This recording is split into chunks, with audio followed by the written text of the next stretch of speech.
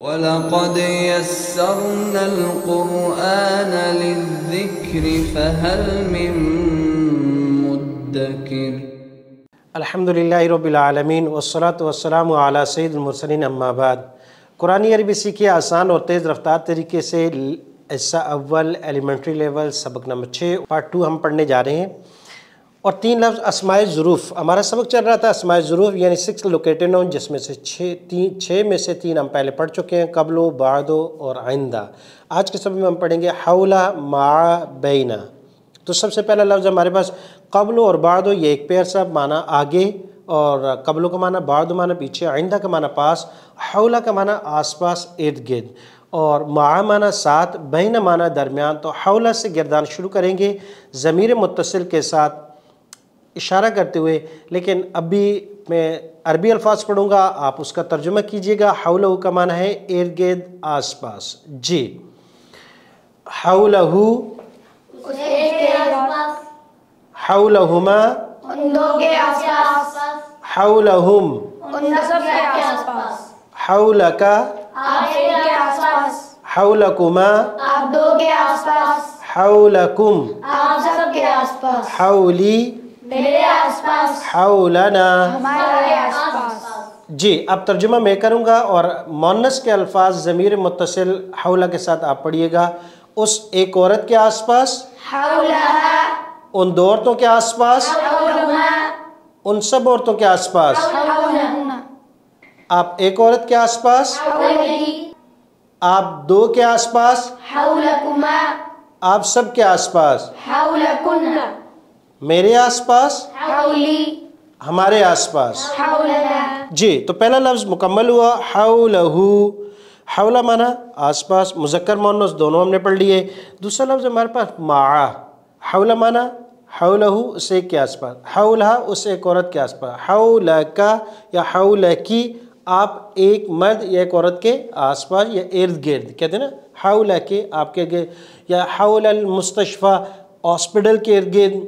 हाउल मस्जिद मस्जिद के इर्द गिर्द आसपास। तो जैसे कोई कभी कभी को, कहाँ हो भाई? यार, मैं मस्जिद के आसपास ही हूँ, या मैं मार्केट के ही अराउंड यहाँ इर्द गिर्द हूँ। तो ये हौला लफ्ज़ इस स्नेरियो में इस्तेमाल किया जाता है। दूसरा लफ्ज़ है मा। मा से गिरदान पढ़ेंगे, तर्जुमा मैं करूँगा, अरबी अल्फाज ज़मीर मुतसर के साथ मा को मिलाकर आप पढ़िएगा। जी, शुरू कीजिएगा, तर्जुमा करेंगे मैं तर्जुमा करूँगा यानी उर्दू और आपने तारीफ़ करनी है अरबी अल्फाज। उस एक के साथ उन दो के साथ उन सब के साथ आप एक के साथ आप दो के साथ आप सब के साथ मेरे साथ हमारे साथ माना उस एक औरत के साथ माहा। उन दो औरतों के साथ उन सब औरतों के साथ। आप एक औरत के साथ आप दो औरतों के साथ आप सब औरतों के साथ। मेरे साथ माई हमारे साथ। माना। जी दो लफ्ज़ हुए एक हौला माना आसपास इर्द गिर्द मा माना साथ, मेरे साथ, आपके साथ, माहू उसके साथ, माई मेरे साथ, मा का आपके साथ, माहुन्ना उन सब खवातीन के साथ, मा, कुमा, आप दोनों खवातीन के साथ। माँ के बाद अगला लफ्ज़ हमारे पास बैना बैना, जी, बैना का माना है दरमियान। अगरचे एक चीज़ के दरमियान भी हो सकता है और हम यहाँ ज़मीर मुतसिल के साथ मिलाकर पढ़ते हैं तो कभी कभी एक लफ्ज़ का माना समझ में नहीं आता, लेकिन इसी सिनेरियो में इसका इस्तेमाल होता है। जी, बैनहू, माना करेंगे उस एक के दरमियान, बैनहुमा उन दो के दरमियान, बैनहुम उन सब के दरमियान। तो दो दरमियान एक बंदे के दरमियान तो किसी चीज़ का हो सकता है। दो के दरमियान तीन के दरमियान इसके अलावा ज़्यादा के दरमियान मुख्तलिफ़ मसाइल होते रहते हैं। जी तो तर्जुमा करते हुए पढ़ेंगे। मैं अरबी अल्फाज पढ़ूँगा आप तर्जुमा कीजिएगा। एक के दरमियान। बैनहुमा उन दो के दरमियान। बैनहुम। उन सब के दरमियान। बैनका आप एक के दरमियान। बैनकुमा आप दो के दरमियान। बैनकुम आप सब के दरमियान। बैनी मेरे दरमियान। बैनना। हम सब के दरमियान। जी मोनस के लिए मैं सिर्फ़ इशारा करूँगा। आप अरबी अल्फाज पढ़िएगा। बैनकी। बैनहुमा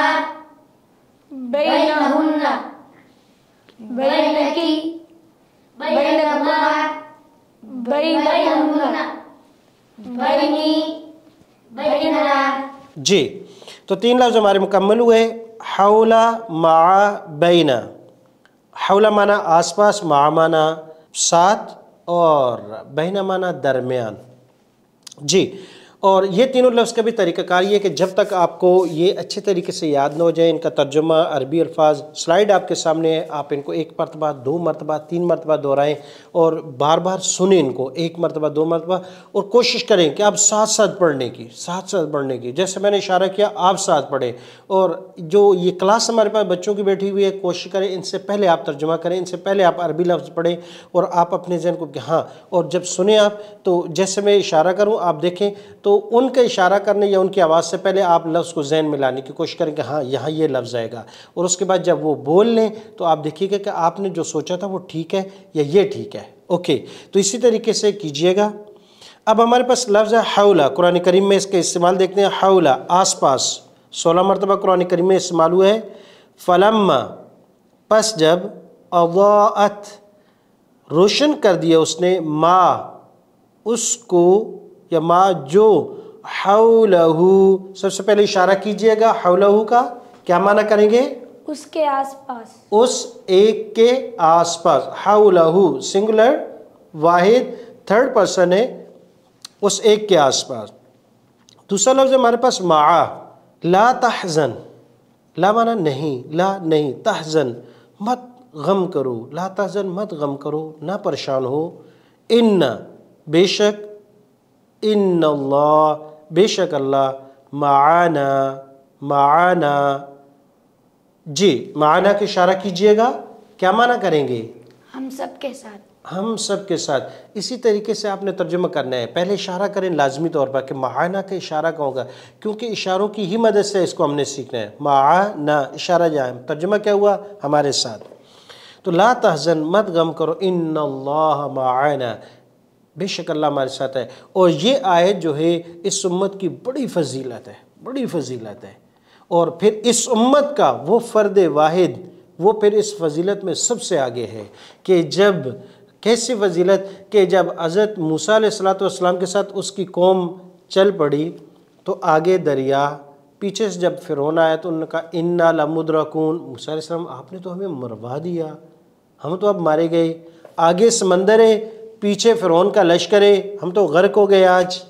तो अज़म कहने कि आप परेशान हो। इन अल्लाह माई, अल्लाह मेरे साथ है, वह मायना का लफ्ज़ नहीं है। और कुर्बान जाएँ इस उम्मत की कुर्बानी पर, और फिर इस उम्मत का सबसे अफजल आला जो बंदा है, हज़रत अबकर सिद्दीक रदी अल्लाह गार सौर में, जब आप सल्लम और हज़रत अबकर सिद्दीक रदी पनाह लिए हुए थे हिजरत के लिए जब निकले थे तो वहाँ पनाह ली थी तीन दिन के लिए। तो जब कुफ़ार का एक वक्त तलाश करते करते करते वहाँ गए तो हज़रत बकर सिद्दीक ने कहा कि यार रसुल्ला कदमों की आहट करीब आ रही है। ये तो हमारी करीब आ रही हैं। तो नबी अकरम वसल्लम कहा, ए मेरे प्यारे हबीब, ला तहज़न इन अल्लाह अल्लाह हमारे साथ है। मेरे साथ भी और आप साथ है। ये उम्मत की फजीलत है। जी बैना बैना माना दरमियान। और ये लफ्ज़ बहुत मरतबा कुरान मजीद में इस्तेमाल हुआ।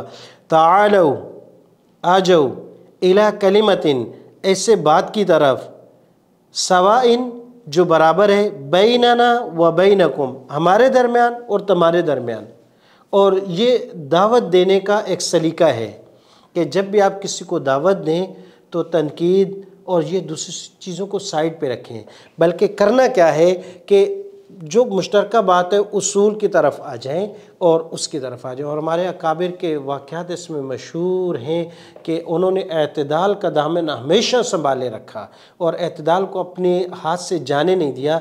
तो ये मेरे लिए और आपके लिए, उम्मत के लिए एक सबक है कि तालो इला कलिमत सवाइम बैनना व बैनकुम मुतफ़ आला चीज़ पर इतिहाद कर लें और इतिहाद उम्मत का प्रचार करें और इसका साथ दें। उम्मत को टूटने से बचाएँ, उम्मत को टूटने से बचाए।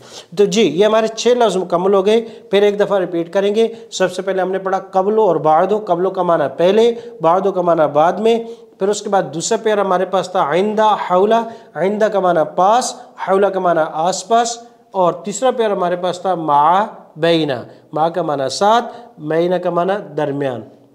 छः सिक्स लोकेटेड नाउन तो ये अल्हम्दुलिल्लाह हमारे आज के सबक में ये मुकम्मल हुए। आप कोशिश कीजिएगा कि इन अल्फाज को कुरान करीम की आयत में भी और जहाँ आपको मैंने इनका तर्जुमा करें और जब तक आपको ये अच्छे तरीके से याद न हो जाए, इनको बार बार दोहराएँ और कोशिश करें मुख्तलिफ़ जुमलों के साथ भी इनको बनाने की कोशिश करें, जो आपको उर्दू से अरबी अरबी से उर्दू जुमले दिए जाएँ, उनमें भी इनकी मश्क और प्रैक्टिस कीजिएगा। और इन बाकी कुछ इन अल्फाज छः के छः अल्फाज की आयात में हम मज़ीद इजरा अगले सबक में इन करेंगे फ़ी अमान अल्लाम वरहमल वर्क